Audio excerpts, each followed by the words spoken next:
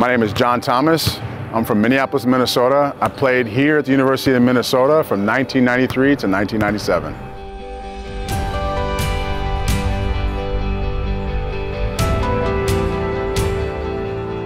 Being back in Williams Arena is a little surreal. The floor is not as springy as I remember. It's definitely lighter as well, but the barn is still the barn, so much love for, for this place.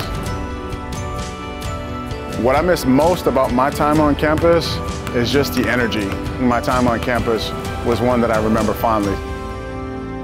Favorite memory, I would say, was the culmination of everyone filling this arena when we made the Final Four appearance and everybody filled the stadium and it was a, a huge celebration.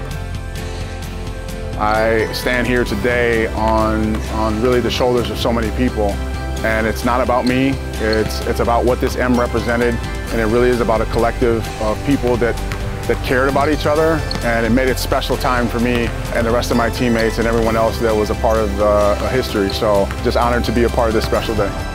Gopher fans, join us in welcoming John Thomas back to Williams Arena.